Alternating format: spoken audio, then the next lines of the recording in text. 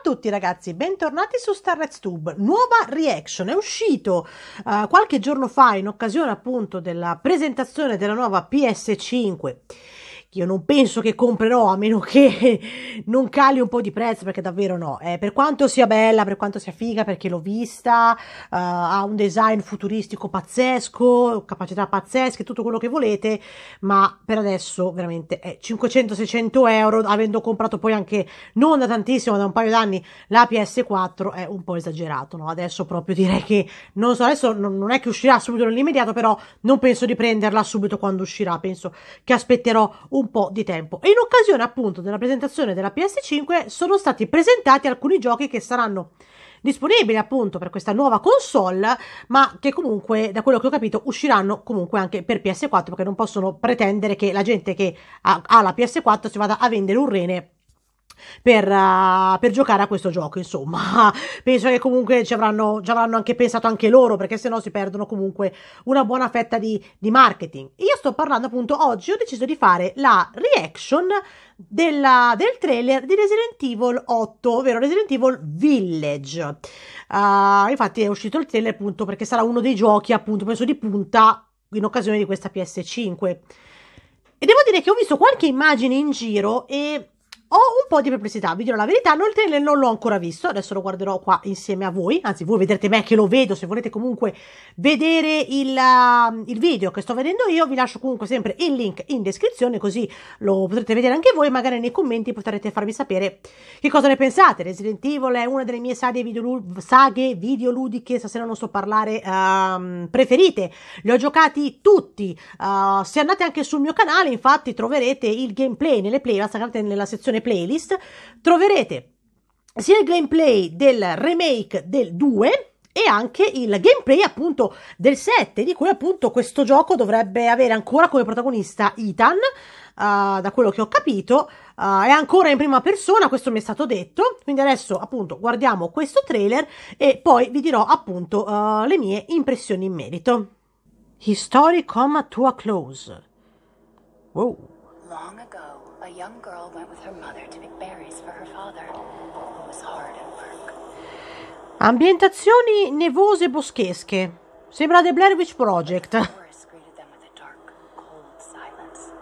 Uh. Beh, a livello di grafica spettacolare, già vi dico questo. Ma è la villa dei Baker? No, no, no, non è la villa dei Baker.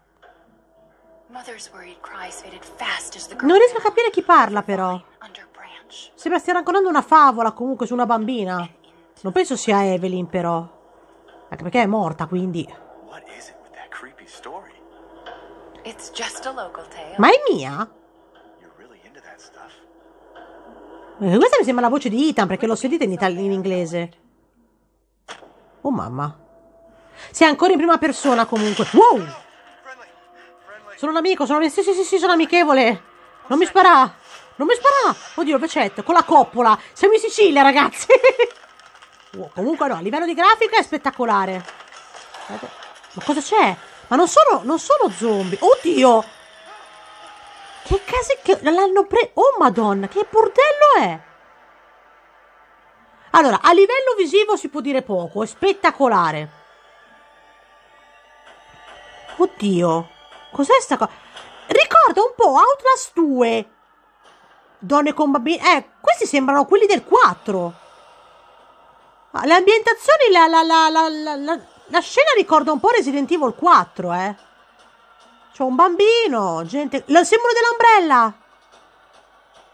Animali morti, come sempre. Oddio, ma che... Quella strega! No, ma... Questi sembrano veramente... Sembra molto il 4. Ma chi è? Eh, c'è anche quello con gli occhiali e il cappello da cowboy. Oddio. E chi è questo? Michael di Underworld? Che, che casino, non è che si capisca tanto. Village. Resident Evil 8. Non si capisce tanto, eh. Oddio, Chris! Scusa, Ethan. Ma... Oddio! No, vabbè, nel 2020. Allora, allora, un momento che devo riordinare le idee. Questo trailer è incasinato tanto, non è che si capisca tantissimo. Sono un po' perplessa perché, allora, a livello grafico, a livello di ambientazioni spettacolare, come sempre, ancora più spettacolare dell'ottavo, che già graficamente era bellissimo. Um, però alcune perplessità perché mi sembra un po' una specie di coperta patchwork con alcune cose ispirate da Outlast 2 perché veramente il, la cosa del villaggio è un po' presa da Outlast 2 perché se avete giocato ad Outlast 2 saprete che Outlast 2 è stato ambientato in, tutto in un questo villaggio pieno zeppo di fanatici religiosi e sembra poi ci sono i lupi mannari, c'è questo qua che sembra avete mai visto la saga di Underworld? Sembra Michael, Michael Corvin di Under, la saga di Underworld, quindi non riesco a capire effettivamente Resident Evil ci sono gli zombie, che cosa, cosa vuol dire i lupi mannari? Poi ho letto che comunque ci saranno anche tante altre creature, ma francamente un po' di perplessità su questa cosa ce le ho.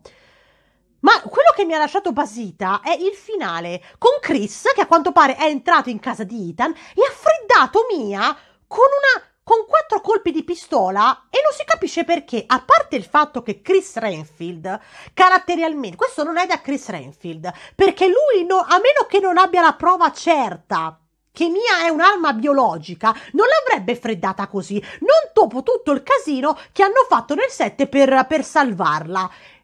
Scusa, non l'avevano mica così. Se voi finite Resident Evil 7 e fate il finale buono, il finale in cui salviamo Mia, giustamente se ne sarebbero accorti prima se lei è un'arma biologica. Ecco, me, ma non è un'azione da Chris. Non è un'azione da Chris uccidere una persona così a sangue freddo.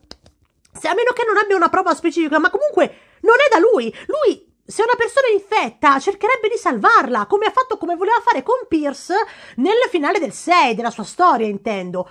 Ecco, eh, devo dire che sono un po' perplessa, vi dirò la verità. Mi aspettavo qualcosina di diverso intanto.